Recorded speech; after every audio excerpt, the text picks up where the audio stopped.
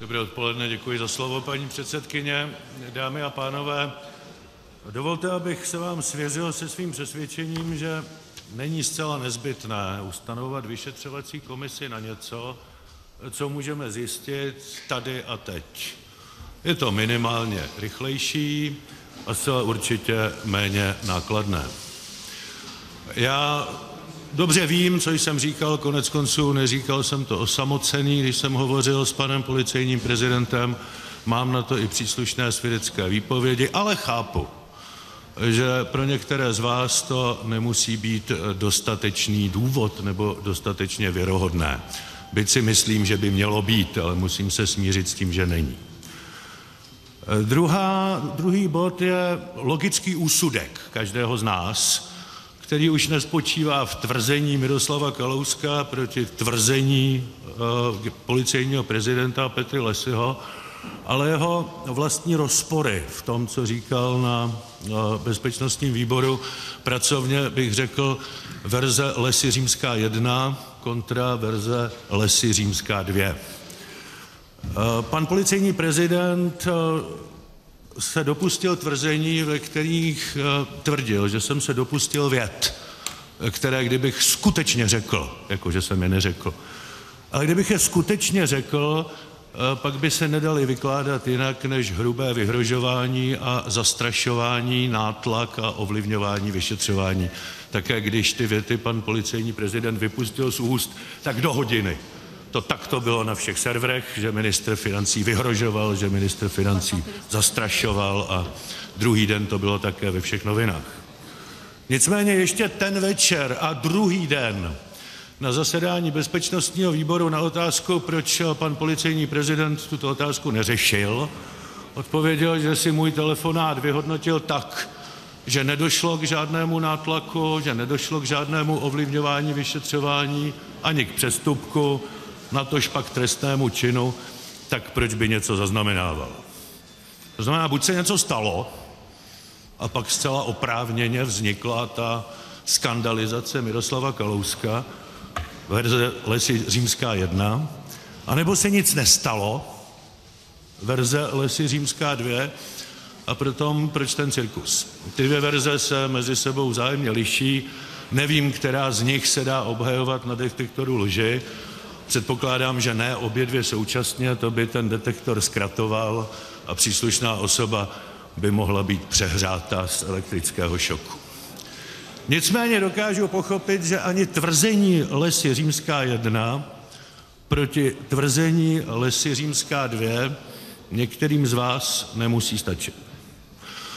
Proto vám chci nabídnout jako zcela definitivní a nespochybnitelný argument, kdo mluvil či nemluvil na bezpečnostním výboru pravdu, tvrzení pana policejního prezidenta na straně jedné a listinné dokumenty s čísly jednacími na straně druhé, které zcela popírají jeho slova. Jestli dovolíte, velmi stručně připomenu úryvek z toho, jak ten rozhovor probíhal. Říkal jsem na bezpečnostním výboru, že poté, co jsem položil panu prezidentu zdvořilou otázku a dostal jsem zdvořilou odpověď, potud mluvíme oba dva stejně, pokračoval ten hovor tak, že pan prezident říkal, a když už vás mám na drátě, vy jste nám loni pomohl s těmi pasaty, já bych letos potřeboval pomoci zase. A já jsem se ptal, v jakém objemu, a pan prezident říkal zhruba do 20 milionů korun. Pan policejní prezident tento skutečný průběh hovoru zcela vášnivě popřel. Popřel ho mnohokrát, řekl, že mezi pasaty, že o pasatech mezi námi nepadlo jedno jediné slovo.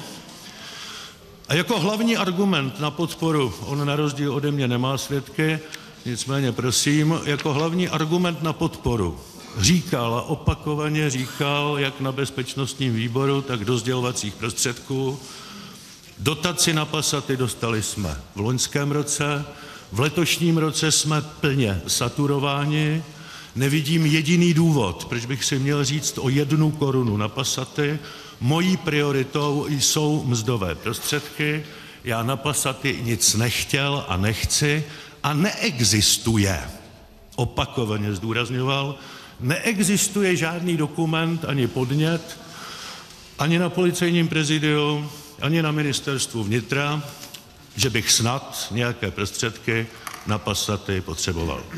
Myslím, že jsme to slyšeli všichni. Všichni mnohokrát, veřejnost také mnohokrát, protože z tohoto tvrzení učinil pan policejní prezident přímo páteř své argumentace. Tolik jeho tvrzení ověřitelné ze zápisu bezpečnostního výboru a z mnoha mediálních vystoupení, z kterých existují záznamy. Tolik tvrzení policejního prezidenta. A nyní prosím pěkně fakta. V této složce jsou celkem čtyři dokumenty s čísly jednacími a s příslušnými podpisy, s následujícími daty a v následujícím pořadí.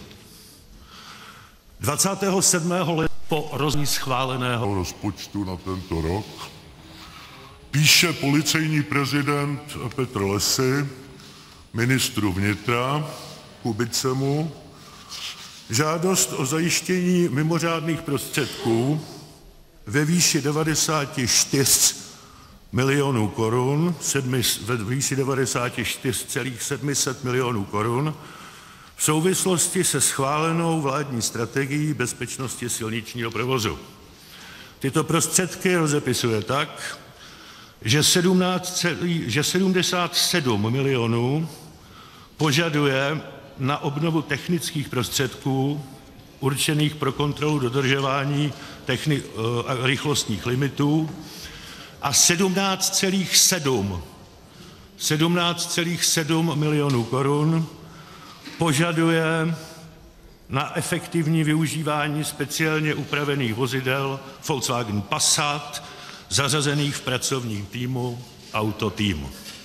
O mzdových prostředcích pro policisty tam není ani slovo, zatímco o Passatech je tam slov mnoho, včetně částky, která odpovídá oné žádosti policejního prezidenta zhruba do 20 milionů korun.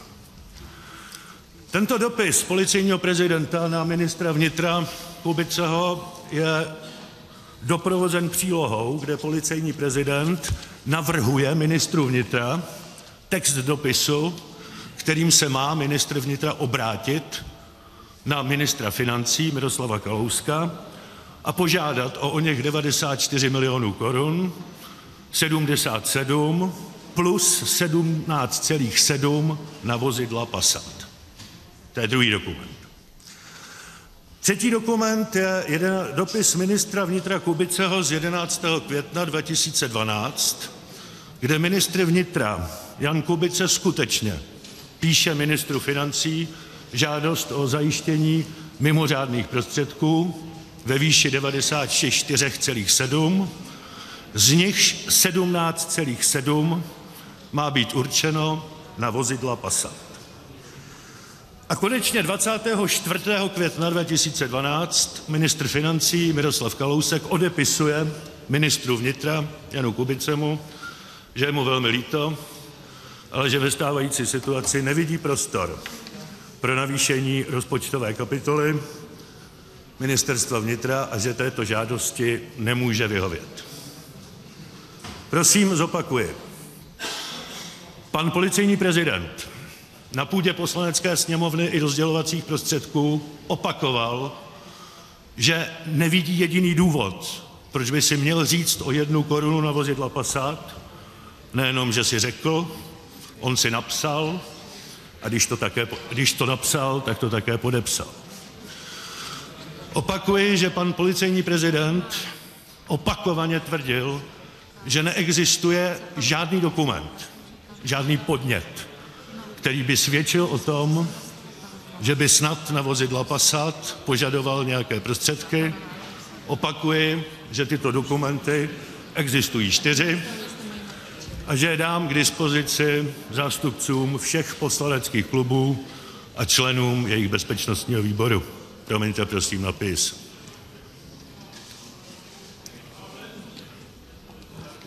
Těžko bychom tedy hledali pádnější argument, že policejní prezident zcela objektivně klame a nemluví pravdu.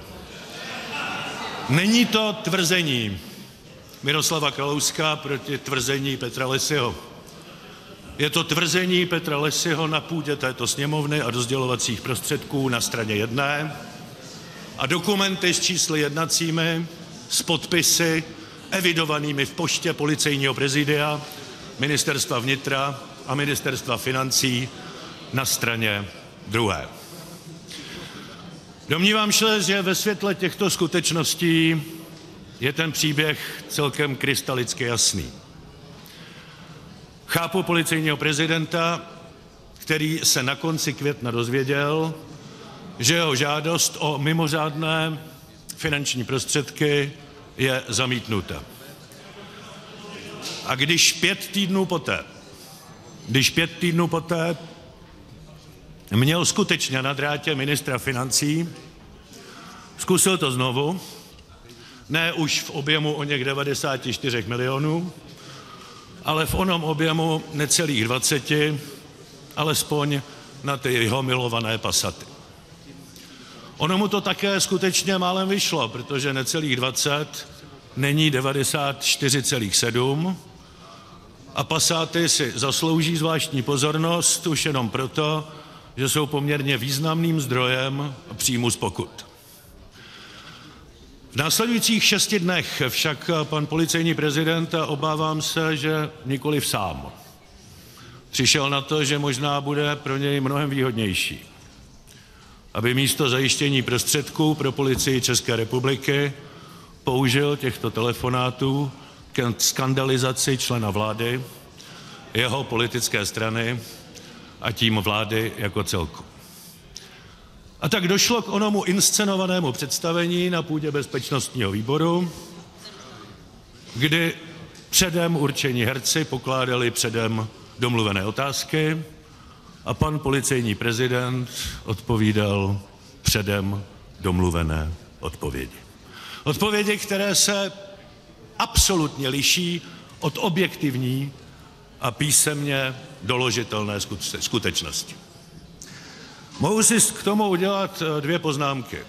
Za prvé, dámy a pánové, opravdu nemusíte zjišťovat, kdo nemluvil na půdě bezpečnostního výboru pravdu.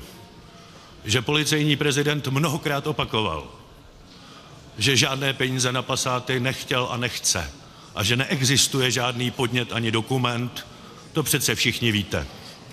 Já vám teď ty dokumenty předám.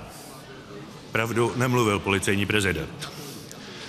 Druhá poznámka je pro mě, druhá poznámka je pro mě poněkud trpčí. Já jsem vždy měl sociální demokracii za politickou stranu, se kterou máme poněkud odlišné nebo výrazně odlišné názory na přerozdělovací mechanismy ve společnosti.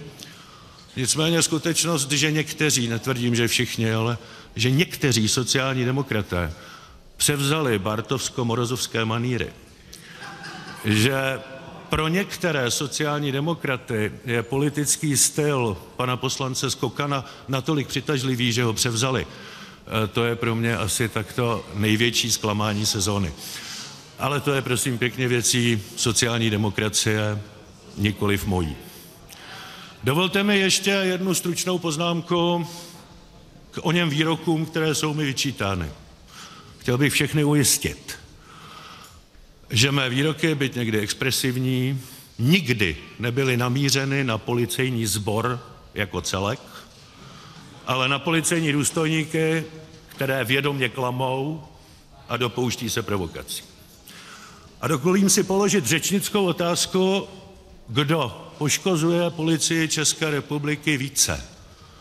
Ten, kdo argumentuje, a je-li potřeba, dokáže to doložit i svědky a písemnou dokumentací, anebo ten policejní důstojník, který si dobré jméno policejního sboru bere jako rukojmí k tomu, aby se dopouštěl nepravdivých tvrzení a politicky motivovaných provokací. Odpověď na tuto otázku ponechám na vás a na vašem úsudku. V každém případě platí, že nemusíte vyšetřovat, kdo na bezpečnostním výboru a do sdělovacích prostředků nemluvil pravdu pravdu, opravdu nemluvil pan policejní prezident a zde jsou proto nespochybnitelné důkazy. Nyní